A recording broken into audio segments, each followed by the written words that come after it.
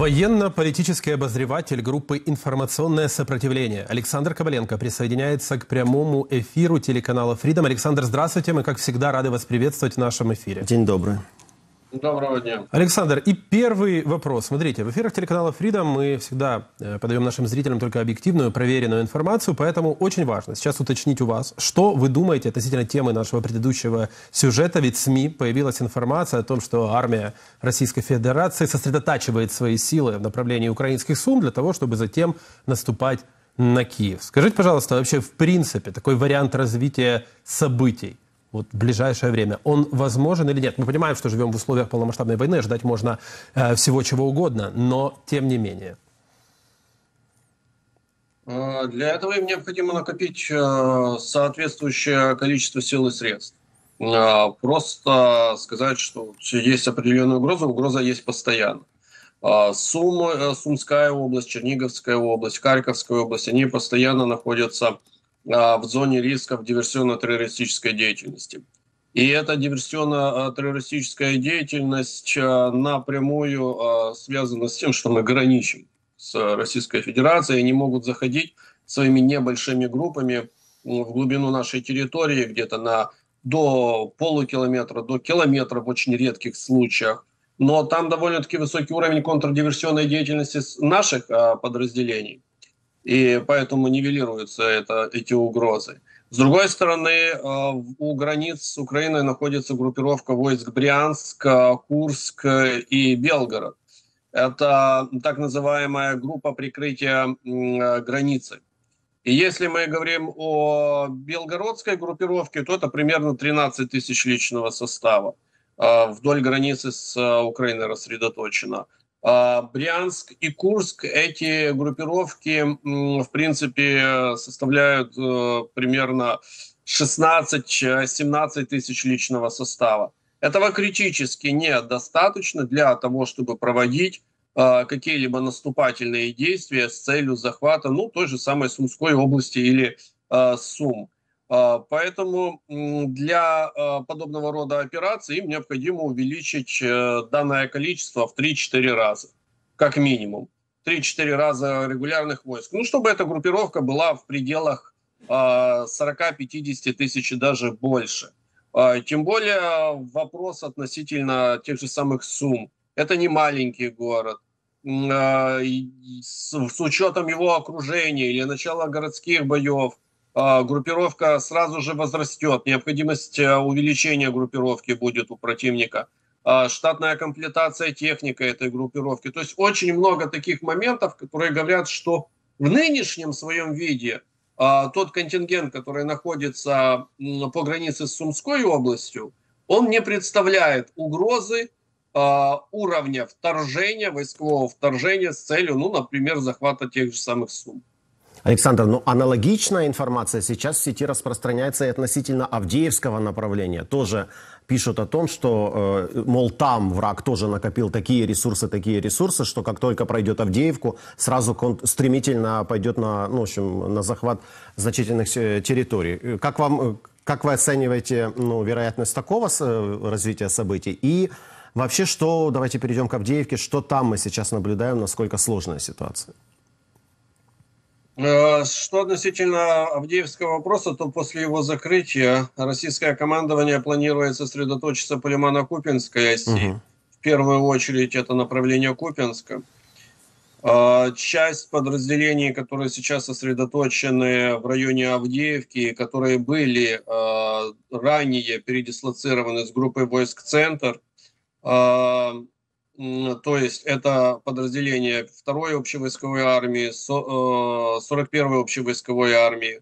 А их вернут э, в распоряжение группы войск центра, либо вообще передадут для усиления группы войск Запад, то есть для усиления давления на Купинск. А также а, будет перераспределение ресурса в районе Бахмута. Второе по значимости для них э, направление – это Часов Яр. А, также не исключено, что они могут активизировать, интенсифицировать э, действия на юге, в Запорожской области. Ну и э, третий, э, третий участок э, интенсификации боевых действий – это Новомихайлов. То есть вот какой э, реалистичный план их действий на 2024 год. Э, после того, как они по, по их планам закрывают вопрос с Авдеевкой. То есть не наступление на Харьков, не наступление на Сумы, не наступление на Киев их планы 2024 года не входят. Да и в принципе они не смогут себе это обеспечить, не смогут это себе позволить в их нынешнем а, положении, в их нынешней ситуации. Что же до самой Авдеевки, там сейчас проходит процесс отведения наших подразделений с наиболее рискованных а, и опасных а, секторов. А, часть подразделений отведена основными опорными э, пунктами для э, прикрытия и для переброски это являются Коксахим. Коксахим для э, сохранения северного контроля трассы 0542. Девятый район для сохранения альтернативных путей отхода из Авдеевки. Теперь давайте, Александр, обговорим такой более общий вопрос относительно того, насколько, грубо, грубо говоря, хватит сил у нашего врага. Сейчас поясню, что имею в виду. Британский исследовательский центр оценил текущий потенциал армии Российской Федерации в ведении войны против Украины. Аналитики назвали ориентировочное количество личного состава оккупантов, которые сейчас воюют против вооруженных сил Украины. Эксперты отметили, что в настоящее время группировка оккупантов насчитывает 470 тысяч штыков, так называемых, 2060 танков и 7080 различных боевых бронированных машин. В результате всех этих цифр, вот сейчас самое главное, эксперты пришли к выводу, что Кремль рассчитывает воевать до 2026 года, имеется в виду, что именно такой горизонт планирования им сейчас дает текущая ресурсная база. Вот скажите, пожалуйста, вы, как человек, который находится глубоко в теме, вы согласны с такой оценкой относительно того, что Кремль готов воевать как минимум до 2026 года? Я не сомневаюсь в том, что у них есть такие амбиции, но э, на их потенциал много что влияет. Так. Одна тема – это людской ресурс, конечно же. Мы можем много говорить про людской ресурс, что он у них бесконечный и так далее и тому подобное, но они тоже находятся под воздействием целого ряда факторов и в вопросах людского ресурса. Ведь давайте говорить, говорить, как оно есть. Если бы у них не было проблем с людским ресурсом внутри своей страны, они бы не начали Э, фактически в репрессивном режиме э, вербовать и рекрутировать э, мигрантов. Тех, кто только получает, например, паспорт гражданина Российской Федерации, выходцы из Средней Азии, Таджикистан, Кыргызстан, например, Казахстан, Азербайджан, Армения и так далее, выходцы с Кавказа, и они бы не стали искать наемников, которые готовы за деньги э, воевать в составе российской армии, но при этом сами вообще граждане, например, Непала или Сирии или Ирака. То есть э, невероятно, но, казалось бы, факт. То есть с людским ресурсом тоже не все так просто у них с пополнением. Второй момент – это а, техническая компонента – те все числа, а, которые называются, они приблизительно а, верны. И тут а, еще следует понимать, что военно-промышленный комплекс России на сегодняшний день работает не столько на производство, сколько на восстановление того, что у них осталось в наследство от Советского Союза.